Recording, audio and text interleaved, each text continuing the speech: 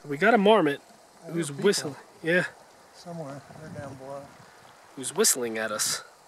Let me move and see if he Yeah, maybe he'll do it he again. might do it as a warning thing. They whistle loud too. Let's see if he does it again. Up. Maybe. Maybe. No. Give him five more seconds. Four, three, two,